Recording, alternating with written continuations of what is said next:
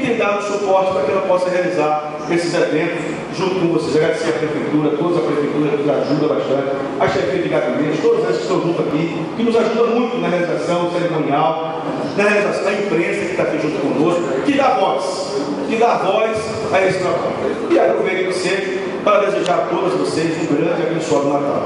O Natal não é só um feriado.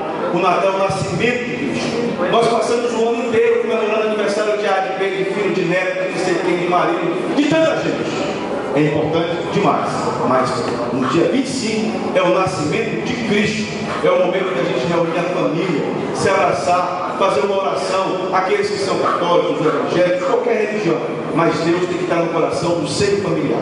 Nós só teremos uma sociedade melhor se nós tivermos uma família boa, equilibrada e, acima de tudo, temente a Deus. Porque quem tem a Deus consegue as coisas. Mantenha a sua fé sempre acesa no seu coração. E eu tenho certeza que 2020 é um ano de prosperidade, de muita fé, de muita força, de muita união. E 2020 é muito bonito esse número, porque é duas vezes 10. É 10, é 10 pago 10 mil, então vai dar 20, tranquilo. Eu dizer para vocês que nós vamos continuar marchando nesse caminho. Muito obrigado pela oportunidade. Agradeço o carinho que vocês têm tido pela minha esposa. Agradeço a paciência dela, porque sei da luta.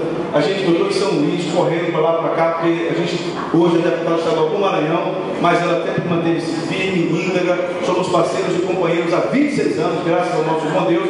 E esse é um caminho que nós precisamos para se continuar percorrendo, plantando. Quem planta o bem, colhe o bem. Continue, fazendo isso, plante o bem, dê, seja gentil com as pessoas, é fácil? Seja gentil com as pessoas, amplie a, a gentileza, amplie a gentileza nesse mundo e certamente nós teremos um mundo melhor. Que Deus abençoe você. Feliz Natal!